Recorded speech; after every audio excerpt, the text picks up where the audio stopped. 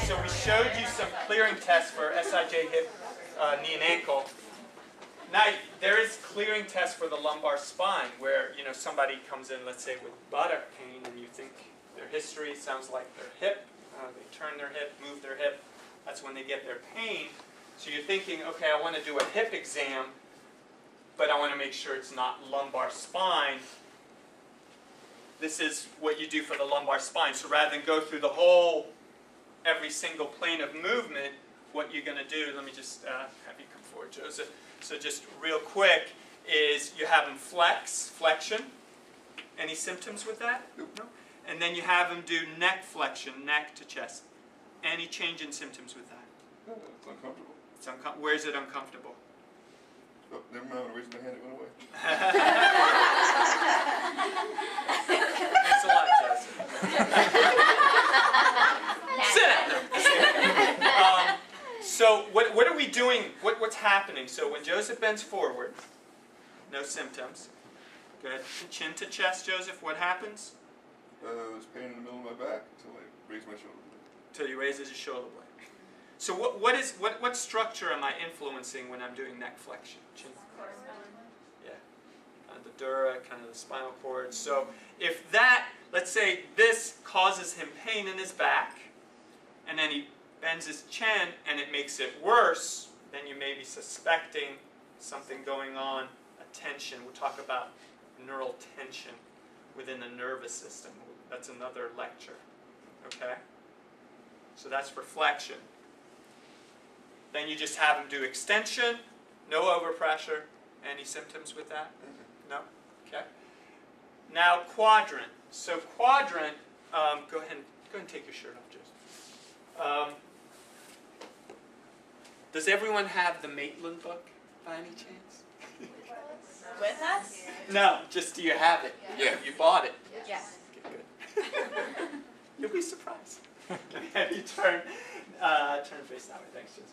Um, so Maitland talks about different quadrants that you can put the spine in. I kind of touched this, uh, uh, touched upon this in lecture, where sometimes through just one plane movements, flexion, side bending, rotation, you don't get any symptoms. You go through this full overpress, nothing. So now you're saying, okay, I really got to find out where this pain is because I really think it is the lumbar spine. Now you need to do combined movements. So there are, if you look at Maitland's textbook, he talks about lots of different quadrant positions in flexion, and you're combining side bending and rotation. We're just going to have you stress one area because when, when Maitland, when we usually talk about lumbar quadrants, we're kind of talking about this specific position where you're having the patient going into extension, side bending, right side bending, and right rotation. So that really compressing on the right side. So that's a right lumbar quadrant. And then you take to take them to overpressure, kind of stabilize the sacrum a little bit, and then taking kind of combining that movement. You okay? Yep. So be careful with some of people like Jessica. She won't like this one. All right.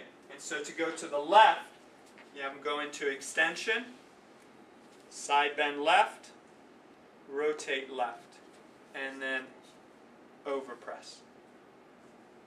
And that's a left lumbar quadrant.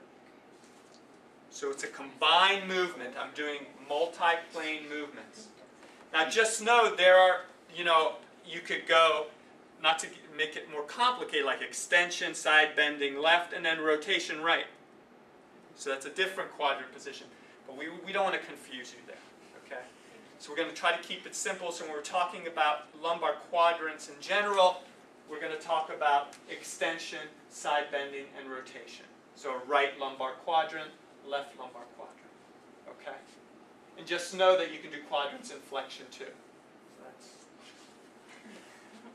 All right. So that's part of the lumbar clearing. Okay? Now, in your active movements with the lumbar spine, I didn't show you the, the quadrant position because usually you will typically provoke someone's symptoms. If they have back pain, you will typically provoke their symptoms with these single plane movements. But in, in off chance that you don't, you get that one patient, you can't provoke it, then you go into quadrant. But if you've already provoked their symptoms, you don't have to go into quadrant.